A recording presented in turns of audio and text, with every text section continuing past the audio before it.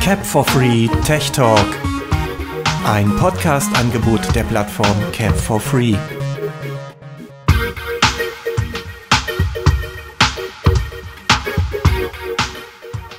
Hallo und herzlich willkommen zum Podcast Technik Talk von Cap for Free. Am Mikrofon für euch heute mal einzeln der Jeffrey. Und ich möchte euch heute etwas Geiles zeigen. Und zwar war ich heute in Dresden im Apple Store und habe mir das iPhone 7 Plus 256 GB Modell gekauft, nachdem ich mein altes iPhone, ah, was heißt alt, ähm, 6S Plus 64 GB äh, in, in den Verkauf gegeben habe. Also Apple recycelt ja die Geräte. Entschuldigt, ich habe mein Aufnahmegerät nur hingelegt. Und äh, da kann man, wenn man Glück hat, eben noch ein bisschen Geld rausschlagen. Und normalerweise kostet ja dieses fette Vieh 1019 Euro. Äh, ne, 1119 Euro. Aufgrund des riesigen Speichers. Ich habe es übrigens in der Farbe matt schwarz. Es gibt bei dem iPhone 7-7 Plus gibt es unterschiedliche Farbmodelle und unterschiedliche Speichergrößen. Dazu erzähle ich jetzt kurz was, bevor ich euch die Verpackung äh, erkläre, den Inhalt. Das iPhone selber habe ich im Apple Store schon eingerichtet.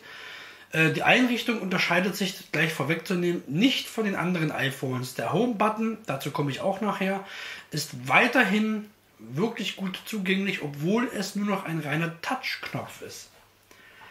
Ja, aber Apple hat sich da natürlich, sonst wäre es nicht Apple, muss ich sagen, es klingt vielleicht ein bisschen so, als würde ich Apple sehr vergöttern. Äh, in gewisser Weise tue ich es auch, aber ähm, naja, ihr kennt das bestimmt, wenn so ein Apple-Freak da einmal loslegt, dann ist er kaum zu bremsen.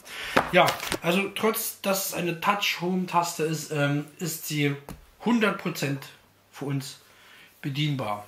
Hat sogar, na, wie gesagt, dazu komme ich nachher.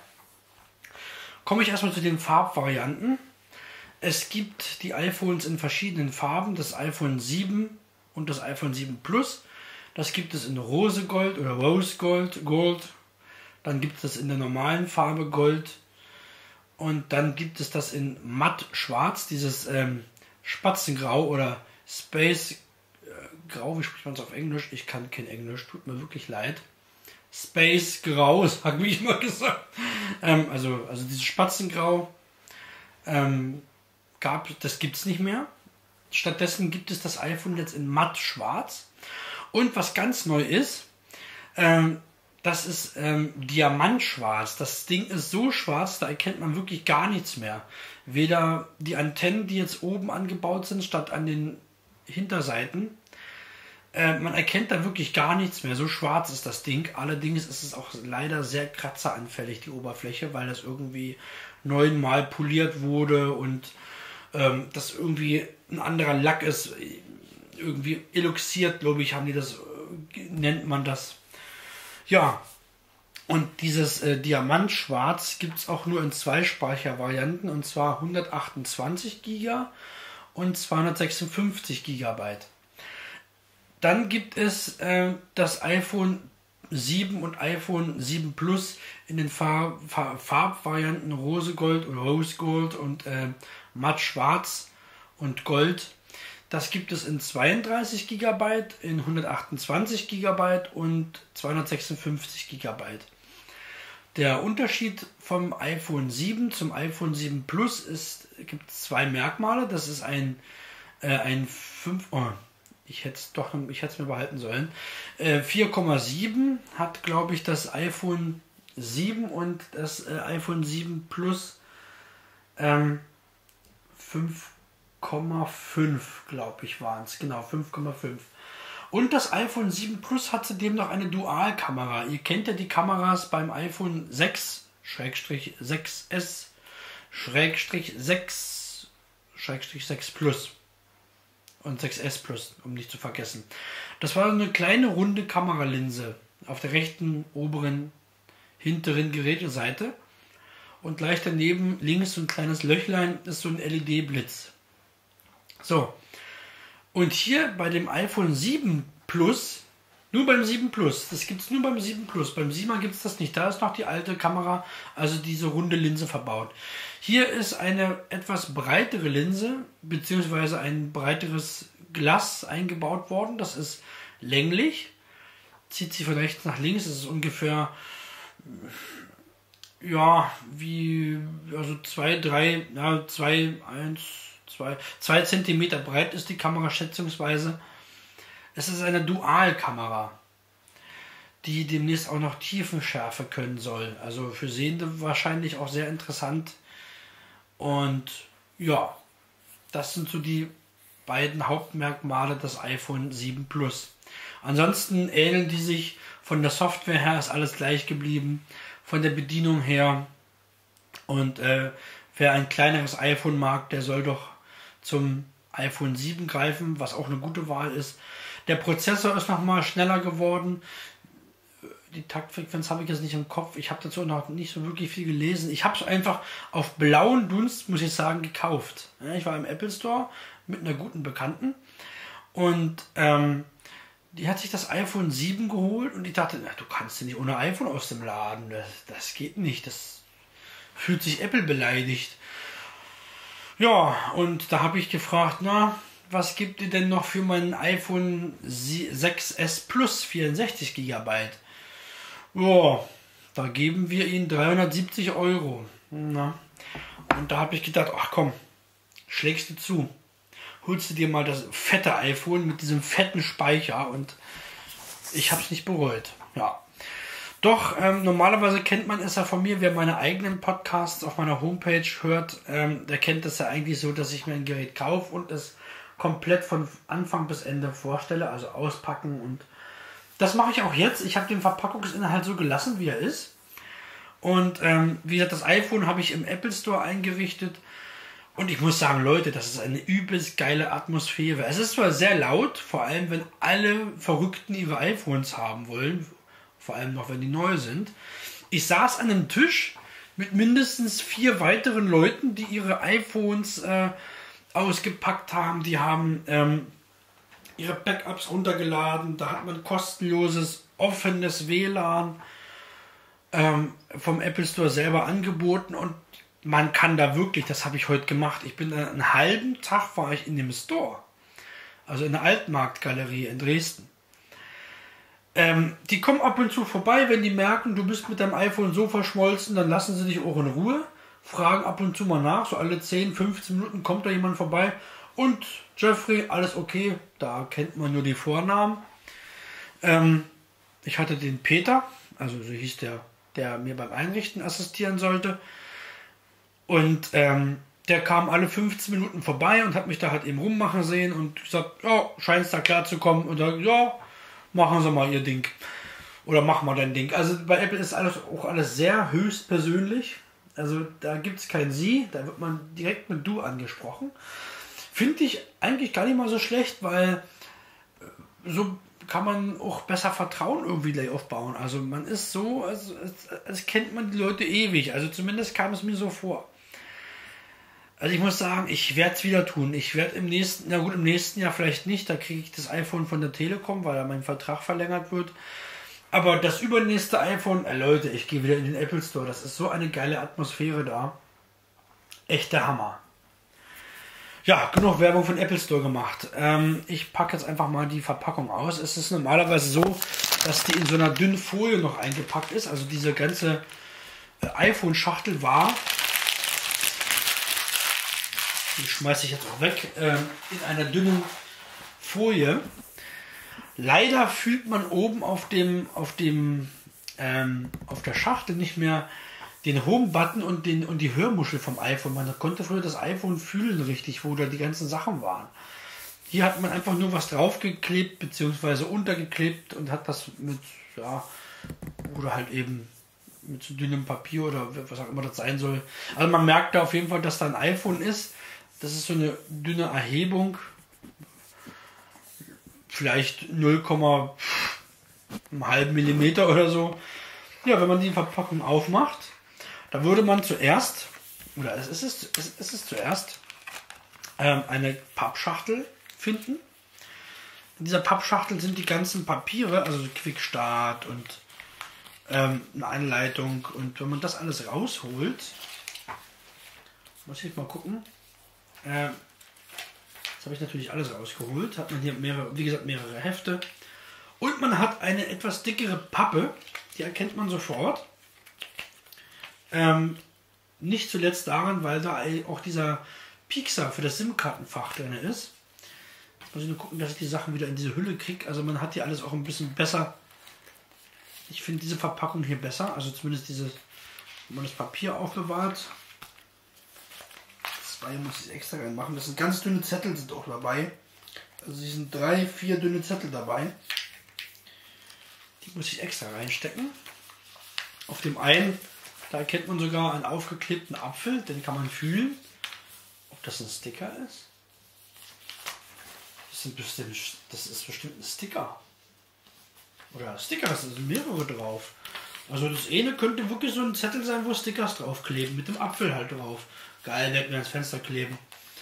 Nee, vorbei. Dann wissen die Einbrecher, was es hier zu holen gibt. Lieber nicht. Äh, oder ich sage, ich bin so arm, ich kann mir nur die, ich kann mir nur die Sticker leisten. Gut. Gut, tue ich das mal wieder in die Verpackung rein hier. Zack. So, legen wir das mal zur Seite. Dann normalerweise würde jetzt das iPhone kommen. Da habe ich diese Schutzfolie aufgehoben, wenn man das iPhone doch mal wieder einpacken muss. Darunter, jetzt wird es interessant.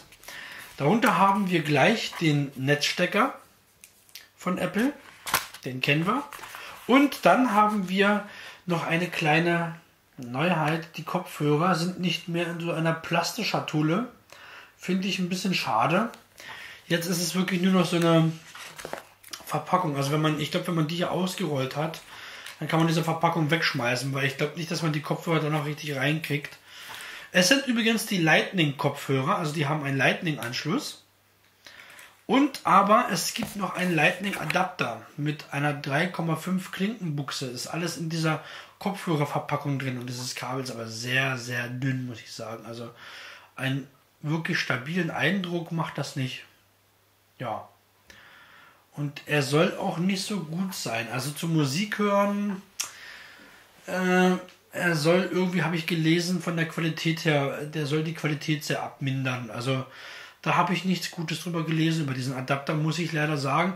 Ich selber habe es noch nie gehört. Ähm, jedes Ohr hört ja auch anders, das kommt noch hinzu. Aber irgendwas soll mit diesen Wandlern da nicht in Ordnung sein. Also in Ordnung, die sollen halt nicht so wirklich gut äh, den Klang rüberbringen. Ob es nun so ist, weiß ich nicht.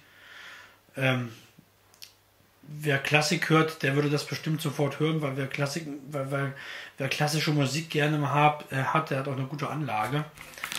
Ja, dann haben wir hier die Kopfhörer. Wie gesagt, das ist dieser Lightning-Anschluss.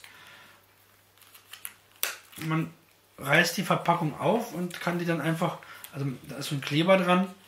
Man könnte sie theoretisch auch wieder einrollen in die Verpackung, aber das, glaube ich, ist doch ein bisschen sehr mühselig. Die muss man hier rausdrehen so ein bisschen. Die sind in dieser Pappe so ein bisschen verknickt. So sieht das aus. Und dann eben,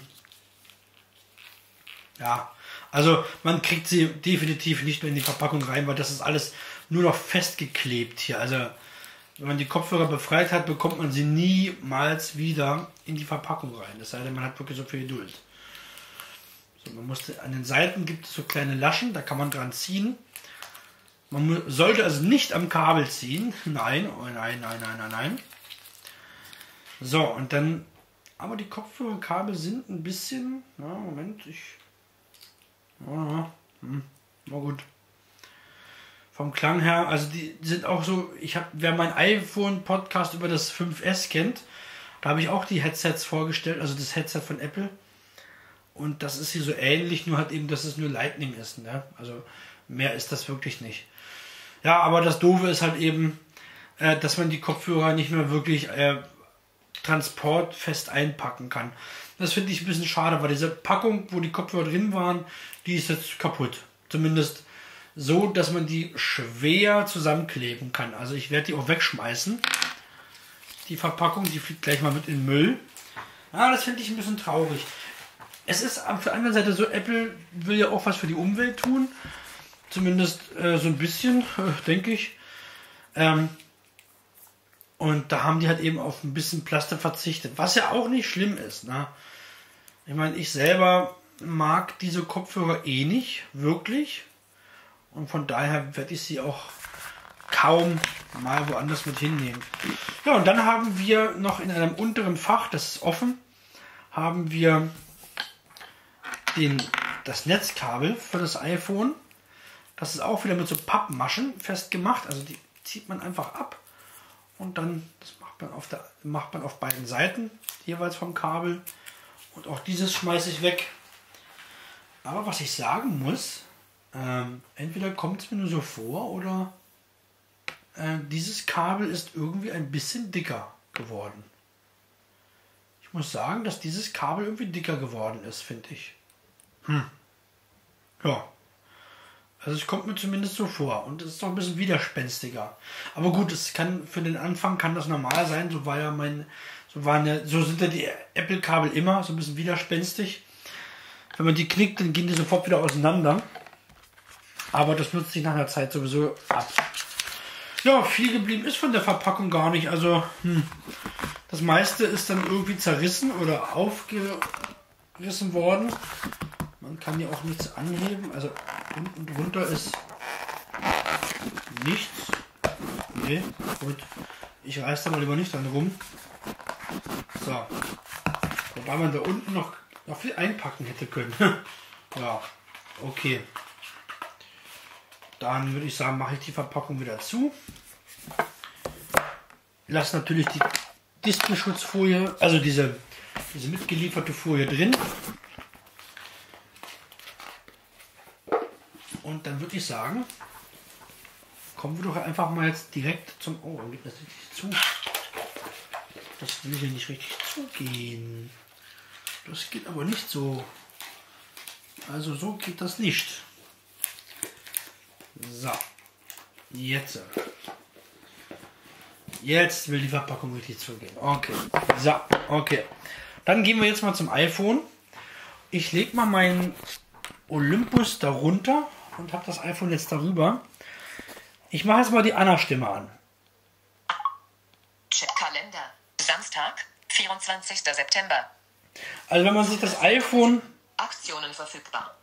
ähm, nicht direkt vom Kopf hält, sondern so ein bisschen weiter weg, hört man eigentlich nicht viel vom Klang. Also man hört zwar schon, dass die ein bisschen bassiger geworden ist. Jetzt kann es natürlich sein, ich mache das iPhone ein bisschen leiser. Einstellungen. Damit das ich zeige euch erstmal den Lautsprecher 1, also unten, der nach unten strahlt. Safari. Home. Jetzt mal die Hörmuschel. Aktionen verfügbar. Erinnerungen. Erinnerungen.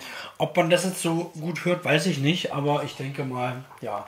Also die Stimme klingt auf jeden Fall bassiger und somit auch, finde ich, ein bisschen angenehmer, also nicht mal so quäkig. Was ich aber sagen muss, das ist mein einzig großer Kritikpunkt, den ich an dem iPhone 6, äh, 7 Plus habe. Der Stereo ist eigentlich kein richtiger Stereo. Es ist ein Stereo-Lautsprecher verbaut. Ich zeige euch das mal, was ich meine. Ich halte es mal rüber. Notizen. Erinnerungen. Musik. Zum Öffnen doppeltippen. Aktionen verfügbar. Erinnerungen. Notizen. Das kann man gar nicht doppeltippen. Aktionen verfügbar. das kann man gar nicht richtig zeigen. Also man hört rechts mehr als links. Das kommt daher, äh, der Lautsprecher unten, Erinnerungen. 11% Bluetooth verbunden.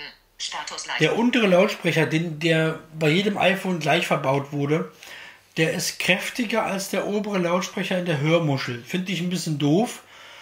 Erstens ähm, verzerrt es den Stereoklang und zweitens, äh, Leute, warum hat das Apple nicht richtig gemacht? Ich sagte ja bereits, dass der untere Lautsprecher nach unten abstrahlt, wenn man das iPhone hochkant hält, dann geht ja der Sound nach unten und aus der Hörmuschel schallt er einem entgegen.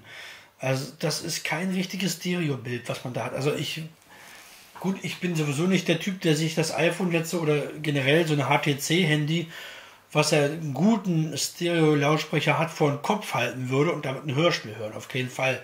Äh, Damit käme ich mir auch ein bisschen dämlich vor.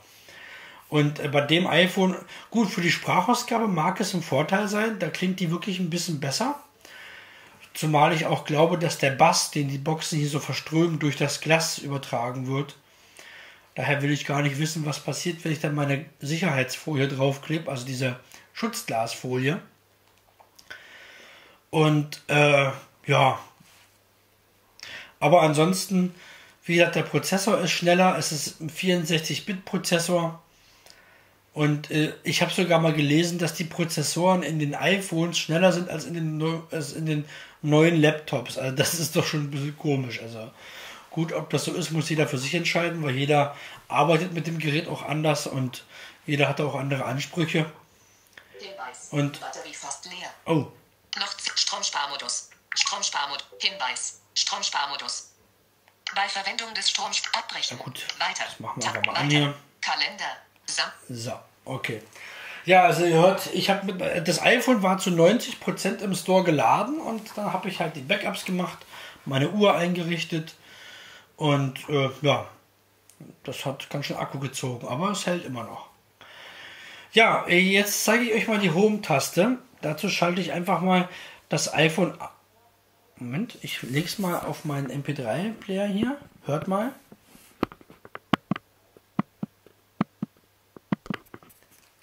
Das ist keine Mechanik.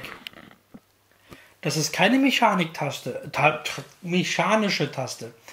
Das ist wirklich dieser Vibrationsdruck, ähm, den man merkt, wenn man die Taste drückt, also toucht. Voice over aus. Voice over ein. Also Kalender. man merkt zwar nicht, dass die Taste in das Gerät geht, aber durch diese stoßweise Vibration hat man wirklich den Eindruck, dass man die Taste drückt. Oder wer das kennt, wer von euch Hörern ein Apple-Gerät hat, also ein iMac oder ein MacBook mit, mit einem externen Trackpad, mh, der merkt das. Wenn man das äh, Trackpad drückt, drückt man zwar das Trackpad runter für, einen, ja, für einen halben Millimeter oder so, aber man merkt, dass da was passiert. Und genauso ist es mit der Home-Taste auch. Man merkt, dass da was passiert. Man drückt sie zwar nicht, wie, der, wie das Trackpad, aber man merkt durch die Vibration, dass sich da was tut. Das Ganze geht natürlich nur, wenn das iPhone an ist. Also wenn das iPhone aus ist, dann, dann wird da nichts passieren in der Hinsicht. Wir können es dann mal zum Spaß machen. Sperren wir es mal. Samstag. 24. Ausschalten. Out, abbrechen. Abbrechen. Ausschalten. Ausschalten. Eifel. Eifel. Einfach App. Ja, das ist natürlich auch sehr schön. So. Noch geht's, weil es an ist.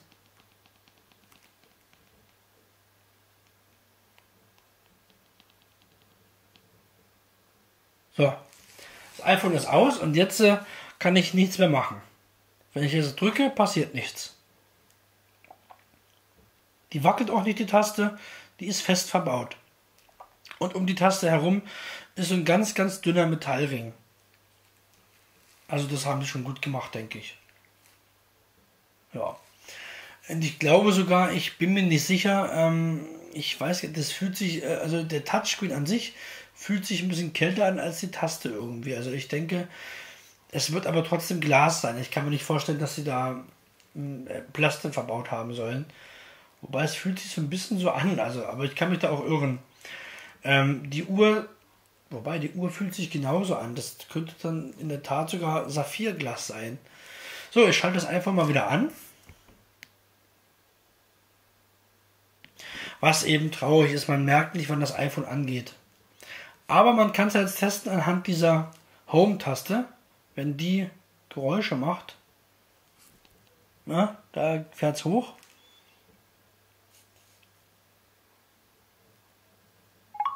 Bildschirmvorhang aktiviert. Code eingeben. Gut. Ist natürlich die Frage, wie das ist, ich, ähm, wenn man das jetzt mal zwangsneu starten muss. Gut, das wird gehen, aber wenn man jetzt äh, äh, das iPhone in den Wiederherstellungsmodus, also in diesen äh, Wartungsmodus bringen will, steckt man bestimmt USB-Kabel an und ja, was drückt man dann? Drückt man dann die virtuelle Home-Taste oder ja, eins der anderen Tasten? Also da werde ich mir mal das Handbuch äh, mal zu Gemüte führen.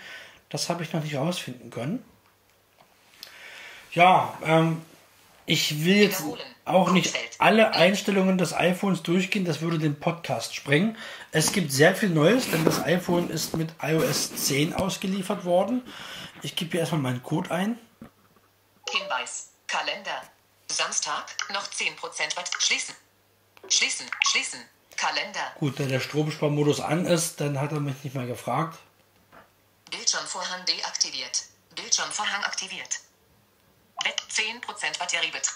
Ja, wir können ja mal in die Bedienungshilfe schauen, denn da gibt es einen neuen Punkt. Telef ab. Seite 2 von Der dürfte für viele wichtig 20. sein, wenn sie das iPhone abgedatet oder sich neu gekauft haben. Einstellungen. Mit, mit, ko- nicht allgemein, allgemein. Auswahl. Hat Spotlight, hat Home-Taste, Bedienungshilfen. Home-Taste. Ah, Taste. nee, ist sogar noch über den Bedienungshilfen. Die Home-Taste. Fertig. Fert. Klick Widerstand wählen. Überschrift. Das ist neu, also man kann hier auswählen. Tippe auf eine der nachstehenden Optionen und drücke zum Testen auf die Home-Taste. 1. Taste. Das ist die niedrigste Stufe, wenn ich die einstelle. Auswahl. Dann 1. legt das jetzt mal aufs Gerät. Dann merkt man, dass die Hinweis. Vibration. Verschlüsseltes Textfeld. Bearbeiten. Oh. Gib das Passwort für deine Apple-ID. Jeffrey Barker at gmail. Warum will ich nochmal das Kennwort wissen hier? Okay, ich gebe das Kennwort noch eben fix ein. Und da geht es auch schon weiter. So, also ich habe jetzt die niedrigste äh, Tab oder Tab-Funktion eingestellt. 1. Jetzt mache ich mal 2. die Taste. 2. 3. Tippe auf eine der Aus. 2. Taste. Auswahl. 2. Da hört man schon, klingt die Vibration heftiger. 3. Taste. Auswahl. Und da merkt man, das ist volle Pulle. Auswahl. 3. 1. Mach die mal auf die 1, weil das Auswahl. reicht 1. mir eigentlich schon aus. Man denkt wirklich, das ist doch richtig mechanisch. Aber ob, wobei es einfach nur noch der Vibrationsalarm ist, der das hier macht. Tippe auf Auswahl. So, jetzt gehe ich auf Fertig. fertig. Taste. Fertig. Handoff. Ta- Karton-Taste. Bedienungshilfen. Auswahl. Bedienungshilfen. Lupe. Display. Und da gibt es- Größerer Fettert. Tasten. Kontrast. Erhöhten Bewegung. Einschrägt. Interakt. Schalter. Assistive. Touch. 3D. Touch. Anpassungen. Tastatur. Zum Widerrufen. Vibration. Anruf. Home. Ein. Anruf. Audio. Ausgabe. Home-Taste. Taste. Da gibt es nochmal den Menüpunkt Home-Taste. Auswahl. Home-Taste. Bit. Home-Taste. Über Klickgeschwindigkeit. Überschrift. Auswahl. Standard. Langsam. Am langsamsten. Passe das für den Home-Doppel- bzw. Dreifach-Klick erforderliche Tempo an. Zum Öffnen Finger auflegen. Ein. Das ist neu. Öffne dein iPhone mit Touch-It, ohne die Home-Taste drücken zu müssen. Öffne dein iPhone. Gut, die Funktion ist unter Home-Taste hinzugekommen. Ähm, wer das iOS-Update von 9.0 ähm, gemacht hat auf die 10.0, der wird merken, dass er die Home-Taste erst drücken muss, bevor er ähm, das iPhone entsperren kann. Aber man kann eben auch, wie in früheren Versionen, wo das schon immer nur so ging, ähm, braucht er einfach nur, nur seinen Finger auf den Fingerprint zu legen, also auf den, also auf den Sensor vom Home-Button. Und das geht auch ohne Drücken auf. Ja, und das war mir sehr wichtig, dass man das wieder einstellen konnte. So, wieder entsperren. Und dann gibt es hier noch so kleinere Details. Man kann jetzt ein Aussprachewörterbuch, hat man jetzt für die Voice-Over-Stimmen, man kann das anwendungsmäßig bestimmen, also in welcher Anwendung diese Sprachregel angewendet werden soll und welche Stimme, auf welche Stimme das angewendet werden soll oder ob man das für alle Anwendungen und für alle Stimmen machen kann oder soll. Das ist jetzt hinzugekommen und noch so kleine weitere Verbesserungen. Es haben sich zwar auch wieder ein paar Fehler eingeschlichen. Man kann zum Beispiel in der Music App äh, in der Playlist nicht mehr so schön mit dem Rotor interagieren. Da fehlt vieles. Zum Beispiel Titel löschen oder ähm, ja, weitere Aktionen halt. Ich hoffe, dass das wieder kommt. Ja, habe ich irgendwas Wichtiges vergessen? Ich hoffe nein. Also das soll jetzt einfach, nur ein kurzer Einblick in das iPhone 7 Plus gewesen sein. Ähm, weitere Podcasts gibt es auch auf Tuxup oder Tupsuk, ich werde es immer falsch aussprechen, geben. oder einfach mal auf ähm, ähm, meine Homepage gehen unter jeffrey-barke.de. Da wird, denke ich, in absehbarer Zeit auch was davon zu hören sein. Ähm, es sei denn, ich kriege mit, dass es von Tupsuk oder Tuxup oder von Apfelpfleger, da gibt es auch wahnsinnig viele Podcasts schon. Also die gibt es sogar schon, also einige gibt es davon. Ähm, das will ich eigentlich nicht mehr so ausbauen, wie ich das damals gemacht habe mit dem iPhone 5S und dem iPhone 6 Plus und so. Weil das machen andere auch schon und davon gibt es zu viel Material. Das wird für die Hörer auch langweilig, wenn sie nur über das iPhone Dinge berichtet bekommen. Aber ich fand das mal ganz nett. Ähm, das iPhone 7 Plus auf blauen Dunst gekauft. Ähm, und das wollte ich euch einfach mal in dem Cap for Free Podcast Technik Talk vorstellen. Kurz und knapp und somit könnt ihr euch ja auch schon ein relativ gutes Bild machen, denke ich. Musik wage ich mich jetzt nicht wirklich abzuspielen, weil das ist alles auch eine GEMA-Frage. Sonst hätte ich euch erst einfach mal, ich habe das auch gerade nichts griffbereit, wo ich sagen hätte können, wobei wir können ja mal Radio hören, das ist ein, dürfte ja nicht verboten sein. Ist, öffne BB Radio. Ich sehe keine App mit dem Namen BB. Wenn du möchtest. Hm, gut, dann machen wir eben die Spotlight-Suche, wenn du nicht willst. Spotlight. Textfeld. B. N. B. B. BB Radio. Auswahl. BB Radio. BB Radio. Volume 75% Einstellbar. Zum Anpassen des Werts mit einem Finger.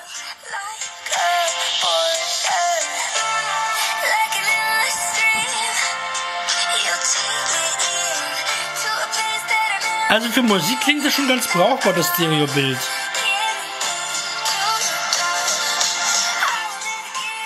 Gut, bevor es wirklich noch Ärger gibt. Also es war wirklich ein Radiosender, BB Radio. Das ist ein privater Sender aus Brandenburg und Potsdam. Also Berlin-Potsdam. Berlin, Berlin, oh Mann, oh Mann. Also heute ist wirklich Abend, es geht mit mir zu Ende. Berlin-Brandenburg, jetzt hab ich's, meine Güte. Ja, gut, dann würde ich sagen, ähm, ich verabschiede mich von euch und hoffe, euch hat der Crashkurs gefallen. Und äh, wie gesagt, die Einrichtung der Software ähm, hat sich nicht geändert, außer dass man jetzt auf Start klicken muss, um wirklich loszulegen. Erst dann kann man die Sprache wählen. Also man drückt dann zuerst ähm, dreimal den Home-Button, dann wird Voice over on, on gesagt. Und dann muss man, da gibt es Cancel oder äh, over, äh, Start over oder Emergency Call, also Ruf, äh, Notruf. Ja, das müsste ich vielleicht mal probieren, beim nächsten Mal zurücksetzen oder sowas das ist. Und ja. Ja, dann wünsche ich euch viel Vergnügen mit unseren weiteren Podcasts und ich wünsche euch auch so alles Gute und viel Freude beim Hören unserer Podcast. Ciao, ciao.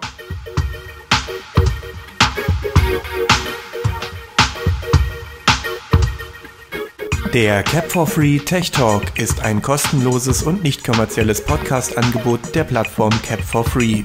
Für weitere Informationen besuche uns im Internet unter http://capforfree.kubus.de. Neben weiteren Podcasts findest du dort auch unsere zahlreichen Facebook- und WhatsApp-Gruppen.